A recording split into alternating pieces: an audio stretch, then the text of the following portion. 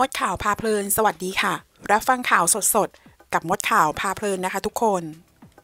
สั่งปิดตลาดเช้าหลังพบคลัสเตอร์นะคะ วันที่ 26 พฤศจิกายน 64 นางสุภาวดีศรีสุขวัฒน์นายอำเภอชุมแพจังหวัดขอนแก่นนะคะ เปิดเผยว่าที่ประชุมได้มีการสั่งปิดตลาดเช้าเป็นระยะเวลา 5 วัน ห้ามตั้งหรือว่าวางจำหน่ายสินค้า ในหรือทางสาธารณะค่ะ เพื่อป้องกันการแพร่กระจายของโควิด -19 ตามสถานที่และก็ถนนต่างๆ ดังนี้ ตลาดดีบุญมี ถนนดีบุญมี ถนนคำหงษา ถนนราชบำรุง ถนนตลาดชัย ตั้งแต่วันที่ 29 พฤศจิกายน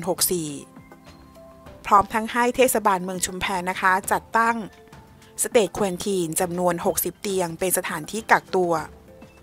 เพื่อการเฝ้าระวังป้องกันแล้วก็ควบคุมโควิด -19 เป็นระยะเวลาไม่น้อยกว่า 14 วัน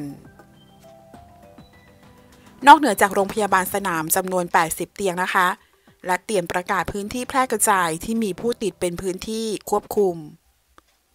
เพื่อให้ประชาชนรับทราบข้อมูลและหลีกเลี่ยงการเข้าพื้นที่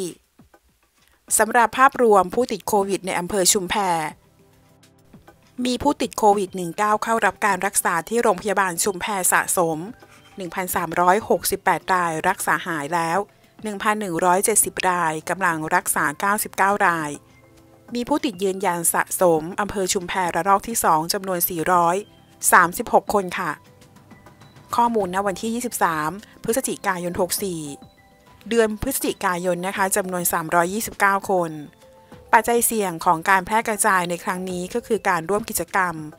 การทำงานสัมผัสร่วมบ้านแล้วก็พฤติกรรมส่วนบุคคล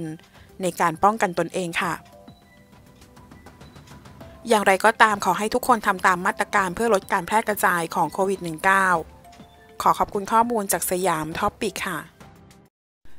ถ้าเพื่อนๆชอบคลิปนี้ฝากกดไลค์และกดกระดิ่งติดตามเพื่อเป็นกำลังใจให้ช่องมดข่าวพาเพลินด้วยนะคะ ขอบคุณค่ะ